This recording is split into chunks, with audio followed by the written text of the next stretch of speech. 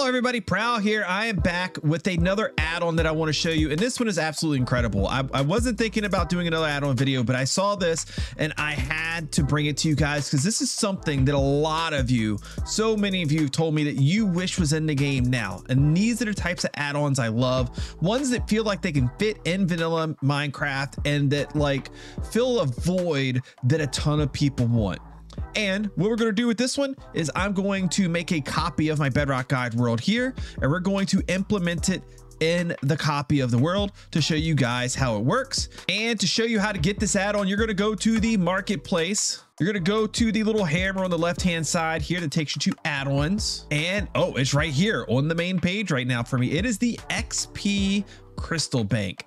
This thing looks awesome. I've not purchased it yet. I just found out a little bit of information about it and we're going to take a look together and we're going to see if this thing is worth the $1.99 for you guys by seeing what kind of capabilities that it really has, how it works, how it can fit into your world and that sort of thing. A couple of things to keep in mind because people have been asking me this in a lot of these videos. Number one, you cannot have achievements in your world if you use any kind of add-on that is a behavior pack, which is anything that appears in the add-on section here. If it's a texture pack, something that changes how blocks look or your skin or whatever, those are fine. Those let you keep achievements, but anything that changes any kind of behavior of the game does not. So disclaimer out of the way there. And another thing is I've been asked this a couple of times now too. This will work in your single player world. It'll work for people that try to join your single player world and it will work for Minecraft realms. If you have a server with an external host that's not a Minecraft realm, at this time, you cannot use add-ons that come from the marketplace on those. Hopefully in the future, I've not heard anything about this, but I hope it's something they can find a way to make happen. Anyways, we're going to purchase this with our Minecoins. We're going to download it and we're going to apply it to our world. Now, whether you're adding it on a new world or you want to put it on an existing world that you already have, you want to go into the world settings or the create world screen. In this case, we're going to go to the world settings by clicking the little settings button. This screen will look the same though. You're going to go to behavior packs. You're going to go to my packs and you're going to find that add-on. We have the XP Crystal Bank add-on right here. We're going to activate it. And when you start, you're going to start with several things in your inventory. You're going to start with a guide, and a wiki. The wiki you can place down and kind of just gives you like general information about it at a glance, as you can see, just like this. Uh, but we can also open the guide and it'll give us information in here about the bank and how it works. So first of all, it's saying that it functions a lot like an ender chest. Basically, you can place two banks down. Those banks connect together, right? So I could put a bank somewhere at a source where I can get a lot of XP or store a lot of XP, or I can put a bank down somewhere where I spend a lot of XP. I could put one in my base. I could put one at my spawn location. I could put these in a lot of different areas. Now it tells you the things that it adds to the game, the crystal bank, the dispenser, the crystal bank wiki, and a personal account. Um, you also have a wrench slash hammer slash crowbar, which are different tools. And if we want to learn about the individual blocks here that have been added to the game, we can click on them and it will tell us about it. This is the Crystal Bank.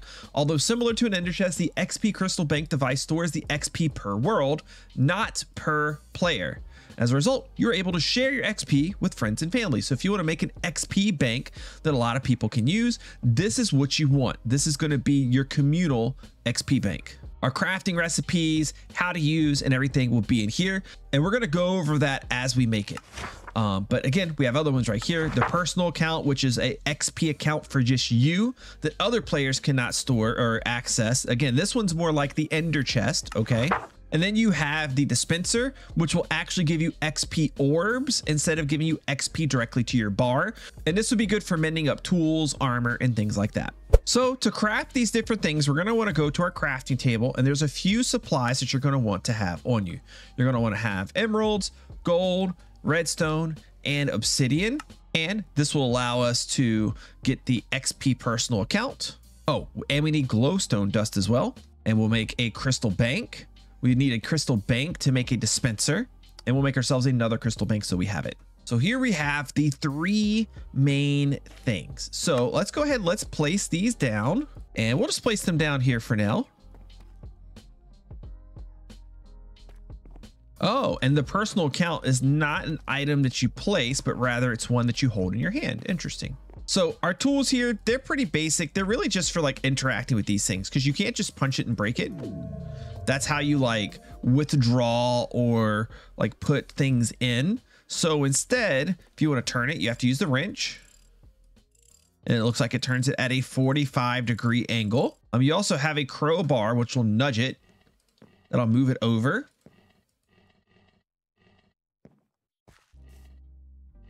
And you have a hammer, which if you click on it, interact with it, not swing it, but interact with it, it will break it or give it to you. Now, if we would like to put XP in our bank here, what we need to do is click on it. Um, I think punch it.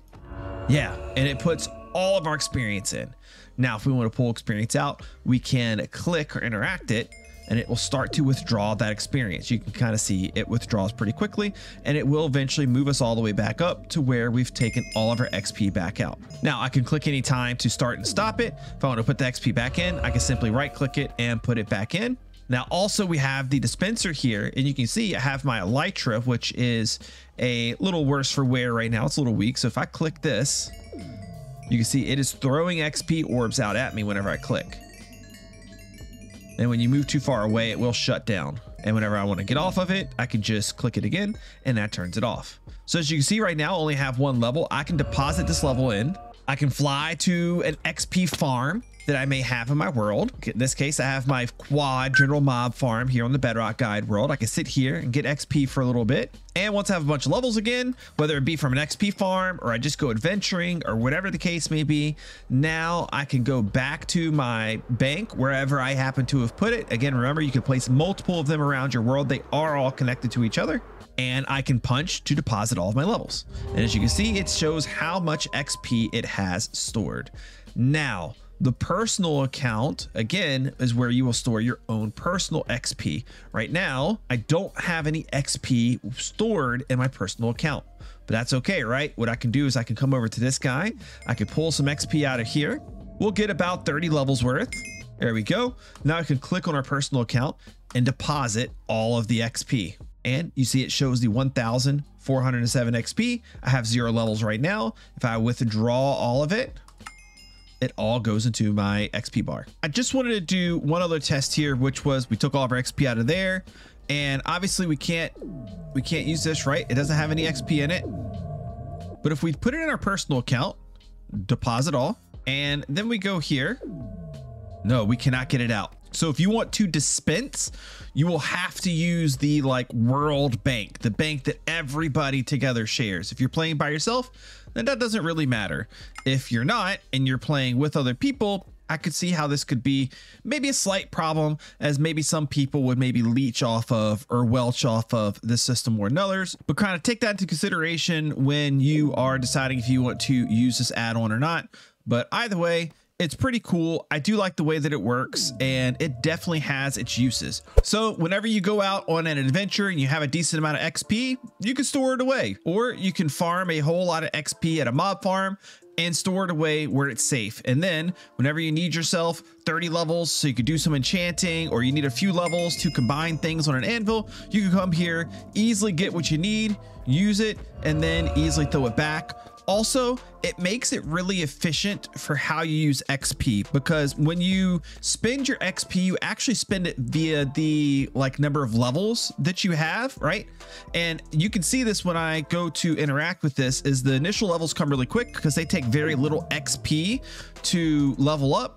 So anytime you need 10 levels, let's say, you may want to just come here and quickly grab those 10 levels and then use them and then they're gone as opposed to waiting till you get all the way up to level 30, 40, 50 like you may be at your like farm at your AFKing at.